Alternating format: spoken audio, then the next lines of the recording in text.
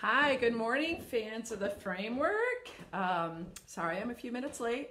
As usual, there were technical difficulties at the McLeod household. Nothing new. Um, so, welcome to live on Facebook. And what we're talking about today is what I should have named Power to Your People. Power to Your People.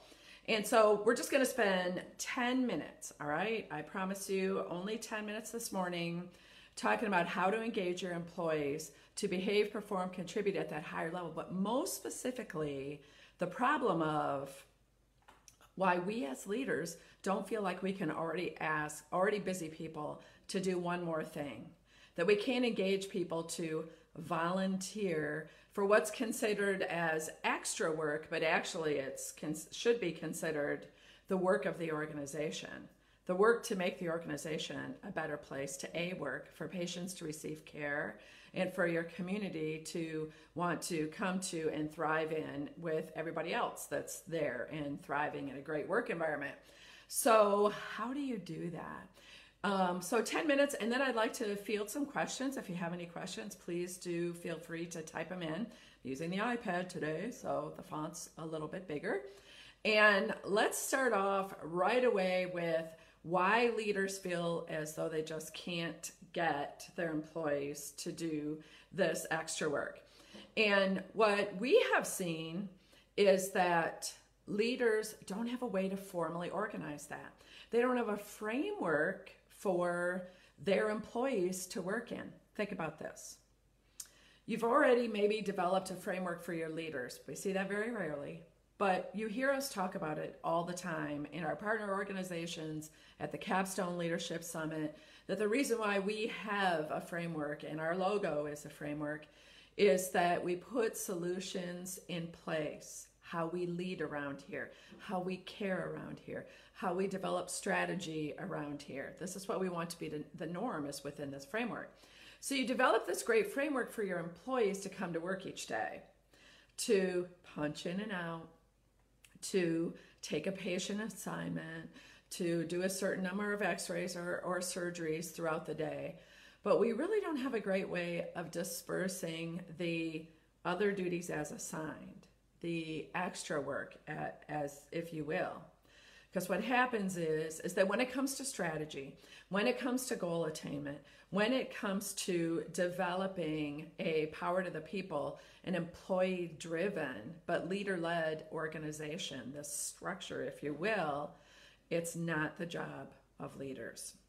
It's the job of everyone. Let's just consider uh, patient satisfaction results. You can't do that by yourself. You can't carry the satisfaction of patients. You're not at the bedside. You're not taking x-rays. You're not um, checking in on, on those things. Uh, you may do it every single day, but not 24 7, right? But what you what we really need is a way to engage people that no matter where you are, what you're doing, what you know your day consists of, that those people are going at it and getting work done and coming to you and saying, you know what, I figured this out, I saw a problem, I solved it, I just want to let you know about it. That would be fabulous. So, how do we do this? How do we move beyond good, okay, fine, right? How, how do we move beyond those four letter words that we all hate to a great work environment where the work is getting done and things are just moving along and you don't have to even ask people to volunteer? They're coming to you and they're saying, I want to be a part of something bigger, right? So we've got a few solutions for you, okay? The first one is, you know, how do you make your, your employees just live for this? Well, the number one solution, you know, to making people feel uh, appreciated and heard, but also to involve them in the extra work is rounding. Those one-on-one meetings where you're relationship building. People want to know what their purpose is. People want to know how can I do more? We hear leaders say all the time, no, Jane, no, Sue, you're wrong. People, my people don't want to do more. They have absolutely no interest. They want to come to work and punch in and punch out. Not true.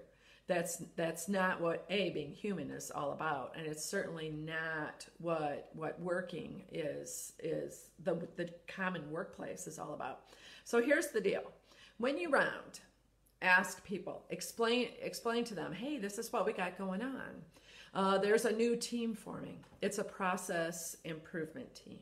It's an a3 team. It's an employee-led team that's going to improve our patient experience or it's going to be the voice little nod to southwest health in platteville wisconsin that improves the employee experience. I think you would be amazing on this team. Would you consider joining it? This is when they meet. These are the, the rest of the people that are on it so those words of a leader especially during rounding are so darn powerful right i know you'd be great at this i trust you to do this right i have utter faith in you that you would rock this project. Your voice is so important on it, right? So the first thing is rounding. The second second thing, and, and this is a solution that we put in place in our partner organizations, is very subjective mid-year performance conversations. So during those mid-year performance conversations, you know, you're going to be, you know, the the positive ones, the coaching and the and the compliment. So you're going to be explaining what what's going on. What's the strategy of the organization? What is the department's strategy and vision and goals? What's your vision for where that department is going? And then you're going to teach your employees this is where you fit in that big picture.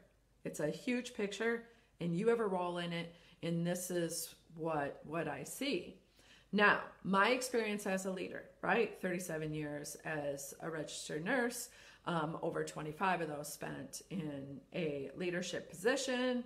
And this is what I found. Every time I would set an employee down to say, you know what, you're you're a dang rock star.